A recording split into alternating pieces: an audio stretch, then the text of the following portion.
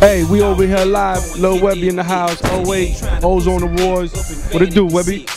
What up, what up, what up? I'm chilling. Bad Rules, what's up? You hear that? Webby got a special performance, a tribute performance with Bun B coming out for Pimp C out here at the Ozone Awards and all that. Tell us a little about that, my G. How that came about?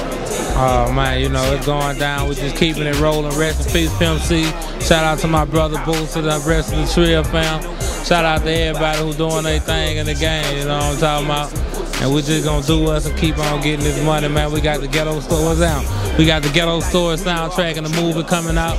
Y'all just be on the lookout. We're just getting started. You know we coming from Boston. You got your fan base out there too. That independent hit the ladies real hard. That that's a real that's a real good track right there. The ladies is loving that. Yeah, man. You know my fans love all my music. You know what I'm saying? That's just the one uh, we picked to do a video to. We made the, that one we chose to make a single. But they love all the music. You know, all my fans, y'all keep supporting my music, and I'm gonna keep on dropping the gangster. Uh, shout out to LyME LyTE Entertainment. Shout out to the whole world, man. Shout out to Ross. Shout out to everybody, man, who's supporting this trio thing. We making it happen.